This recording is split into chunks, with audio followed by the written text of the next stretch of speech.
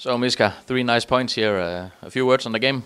Yeah, really hard game. We I think we defended really well and scored a couple goals, and luckily that was enough today.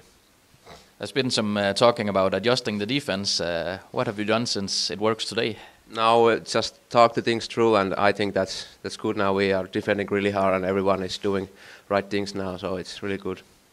We have seen this season a lot of two goals lead, two goal leads that uh, has been blown.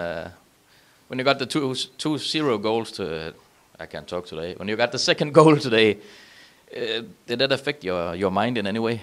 No, I, I, at least I didn't think anything about that. Like I knew that we're gonna win the game when we scored two 0 so that didn't really matter.